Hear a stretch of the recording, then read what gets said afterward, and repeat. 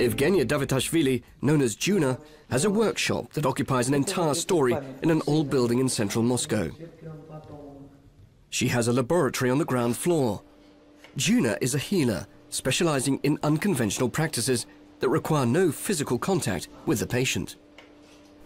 Nobody else has the sort of characteristics that I have. I've been examined at institutes of nuclear physics, cybernetics, radioelectronics and technology. Dozens of people undergo treatment here each day. According to Juna, Leonid Brezhnev was one of her first clients in Moscow. However, his relatives flatly deny her claim. Once I received a call from a Kremlin employee. Could you cure Leonid Brezhnev, they asked. I said I wasn't sure, but I might try.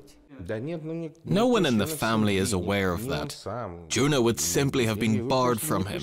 Saying that some woman off the street was allowed to heal Leonid Brezhnev is rubbish.